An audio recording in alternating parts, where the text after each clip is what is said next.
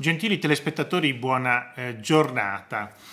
Personaggi di sinistra si scagliano contro eh, Matteo Salvini come Fratoianni che dice Salvini per un decennio è stato alleato di Putin, non è credibile come paladino della pace o come eh, Fattori che dice eh, c'era un patto tra Salvini e il partito di Putin. Allora, eh, non è credibile come paladino della pace perché per un decennio era alleato di Putin, questa è una sciocchezza, caro Fratoianni.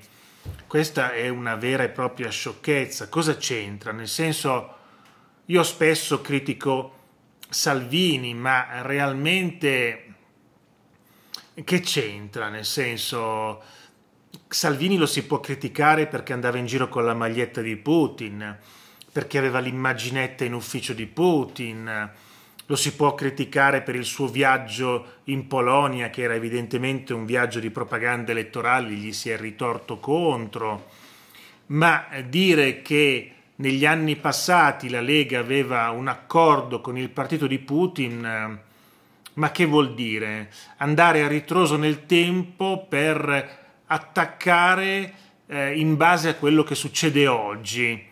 Ma che vuol dire? Ad esempio, io sono amico per dieci anni di una persona, poi fra cinque anni diventa uno dei peggiori uomini della terra e allora mi accusano tu eri amico. Ma che cacchio vuol dire, Fratoianni?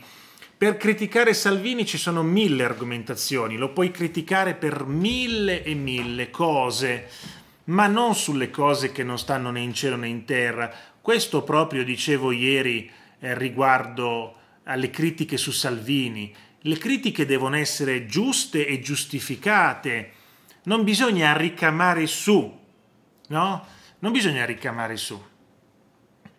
Ma Salvini aveva accusato la sinistra di saperlo solo insultare. Non può pensare di recitare tutte le parti, sono dieci anni che sta con Putin. Ecco, questa Fattorianni è una cretinata. Che cosa c'entra che non può pensare alla pace perché è stato dieci anni... Ehm, alleato con, poi alleato con Putin. Insomma, sono paroloni, secondo me Putin neanche si ricorda chi è Matteo Salvini. Però Frattoianni vuole rispondere così al capo della Lega. Dice Salvini si sente offeso dalle mie parole, le considera un insulto. Il segretario del leghista sbaglia, semplicemente non può pensare di poter fare tutte le parti in commedia e non essere eh, criticato. Per dieci anni è stato insieme al suo partito il miglior alleato di Putin in Italia e non solo politicamente, a quanto si dice, ora non è certo credibile come paladino della pace. Ma che c'entra? Ma cosa c'entra? Ma cosa c'entra?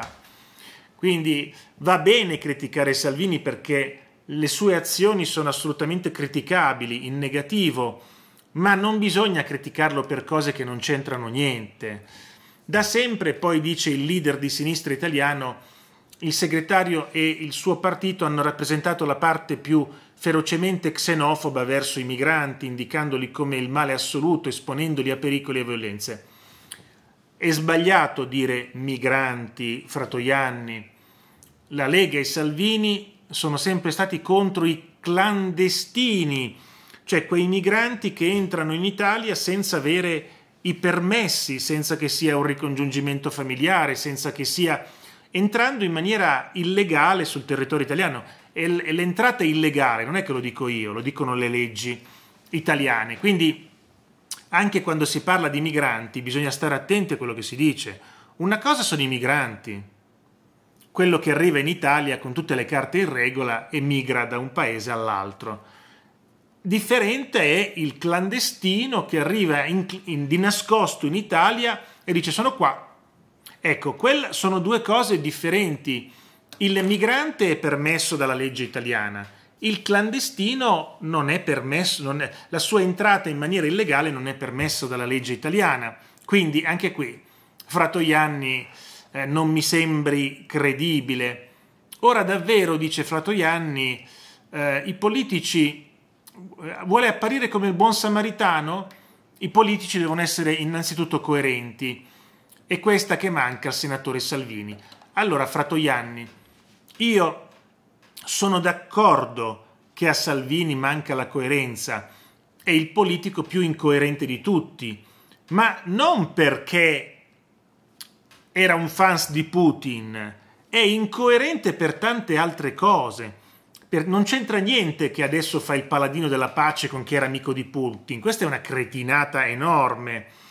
Salvini è incoerente per tutte le cose che abbiamo raccontato su questo canale per tanti e tanti mesi, per anni.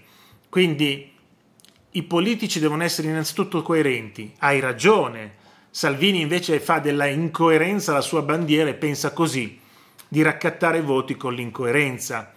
Però lui cerca di apparire come il buon samaritano. Anche in questo caso hai ragione perché lui è andato lì in Polonia per un mero calcolo elettorale, è andato lì per eh, lui come altri politici c'è un problema e ci si fiondano sopra per eh, opportunità politica, per fare eh, per eh, appunto per trovare elettori, per cercare elettorato. In questo caso lui voleva far vedere che era il buon Salvini, la colomba della pace.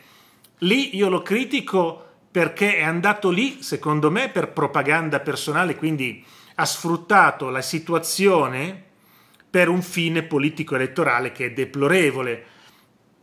Ma non lo critico perché va lì ed era amico di Putin. Non c'entra niente, io lo critico perché va lì per motivi elettorali, che prima era amico di Putin, amico, ma quale amico? Questi qui si saranno parlati una volta per sbaglio in un congresso, parlato in quattro parole in inglese, ma quale amici?